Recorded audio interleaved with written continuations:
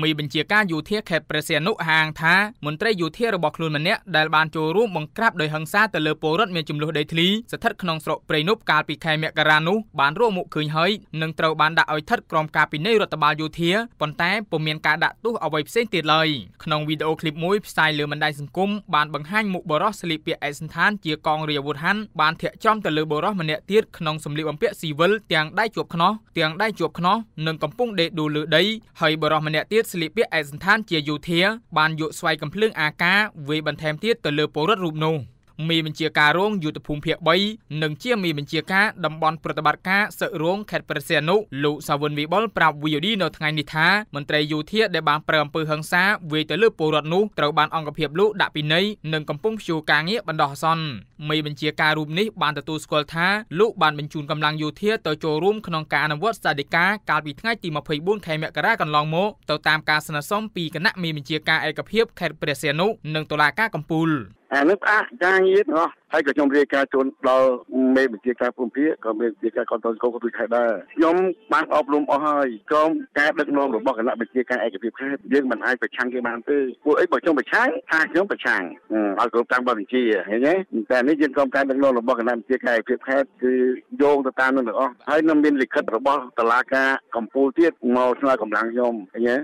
ហើយមានលិខិតមួយទៀតបង្កប់ការមកពីខេត្តទៀតតែបើយើងអត់ឲ្យមានន័យថាយើងប្រឆាំងនឹងបទបញ្ជាប្រឆាំងនឹងតុលាការអញ្ចឹងចាប់ពីពេលម៉ោងនេះទៅប្រសាសន៍របស់ឯកឧត្តមឯកឧត្តមហ៊ុនម៉ាណែតអគ្គមេជាការរងនិងមេជាការកងទ័ពទាំងគោគាត់បានដាក់អនុម័តហើយមិនឲ្យកងទ័ពទៅបង្ក្រាបទៀតទេចាប់ពីម៉ោងនេះទៅអ្នកនាំពាក្យសមាគមការពារសិទ្ធិមនុស្សអាត6លោកសង្សានករណាបានចាត់ទុកសកម្មភាពមន្ត្រីយោធាយកស្វ័យកំភ្លើងទៅវាយលើពលរដ្ឋទាំងដៃចងស្លាប់សេកនោះថាជាបទល្មើសព្រហ្មទណ្ឌដែលតុលាការត្រូវតែចាត់វិធានការតាមផ្លូវច្បាប់បើយើងពិនិត្យលើការអនុវត្តច្បាប់វិញគឺអត់ទាន់អាចទទួលយកបានទេជនដែលប្រព្រឹត្តនៅបទល្មើសព្រហ្មទណ្ឌបែបហ្នឹងគឺ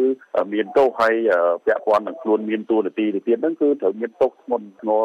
គេហៅបទល្មើសបទអញ្ញាណាអញ្ចឹងខាងព្រះអញ្ញាហ្នឹងចាត់វិធានការតាមផ្លូវច្បាប់ដើម្បីធ្វើយ៉ាងណាកុំឲ្យអំពើរបៀបហ្នឹងកើតឡើងមកទៀតបើមិនអញ្ចឹងទេការគ្រាន់តែដក ការដាក់ទោសវិន័យក្នុងក្របខ័ណ្ឌនៃស្ថាប័នរបស់ខ្លួនហ្នឹងវាអត់មានជារឿងមួយដែលធ្វើឲ្យមនុស្សឬក៏អ្នកផ្សេងទៀតមើលឃើញទៅរៀងចាលលោកពេលដែលចុះអនុវត្តទូនាទីទេបាទក្នុងពិធីសន្និបាតបូកសរុបការងារមួយកាលពីថ្ងៃទី13ខែកុម្ភៈរដ្ឋមន្ត្រីក្រសួងមហាផ្ទៃលោកសខេងបានលើកឡើងថាករណីអាញាធរខេត្តក្រចេះនិងអាញាធរខេត្តព្រះសីហនុយកកម្លាំងយោធាបង្ក្រាបទៅលើពលរដ្ឋមានចំនួនដីធ្លីនោះជារឿងមិនត្រឹមត្រូវហើយលោកបានហាមទៅអាញាធរខេត្តផ្សេងៗទៀតកុំឲ្យប្រើប្រាស់កម្លាំងយោធាចុះអនុវត្តស្តេចការរបស់តុលាការដោយលោកថាសកម្មភាពនោះជារឿងខុសច្បាប់ កាលពីថ្ងៃទី24ខែមករាសមត្ថកិច្ចចម្រុះខេត្តព្រះសីហនុប្រមាណជាង300នាក់ដឹកនាំដោយព្រះរាជអាជ្ញាហ៊ូតវិចិននិងអភិបាលរងខេត្តព្រះសីហនុលោកផៃប៊ុនវណ្ណៈបានចុះអនុវត្តសាធិការរបស់តុលាការកំពូលដើម្បីវាស់វែងដីឲ្យអ្នកស្រីហុងសួនភរិយារបស់អុកញ៉ាស៊ីវកុងទ្រីវស្ថិតក្នុងភូមិកូគីឃុំបិទត្រាងស្រុកព្រៃនំប៉ុន្តែត្រូវអ្នកភូមិរាប់រយនាក់តវ៉ាប្រឆាំងនឹងការចុះអនុវត្តនោះដោយនាំគ្នាដុតកង់ឡានបិទផ្លូវរហូតផ្ទុះអំពើហិង្សា ក្នុងហេតុការណ៍ប៉ះទង្គិចគ្នានោះពលរដ្ឋម្នាក់ជាកម្មករសំណង់បានត្រូវគ្រោះកំភ្លើងដែលបានចំពីក្រោយត្រង់ស្មាខាងឆ្វេងប៊ីមជាប់ឆ្អឹងខ្នងហើយពលរដ្ឋ6នាក់ផ្សេងទៀតត្រូវបានសមត្ថកិច្ចឃាត់ខ្លួនបណ្ដោះអាសន្នហើយបានដោះលែងវិញនៅយប់ដដែលនោះ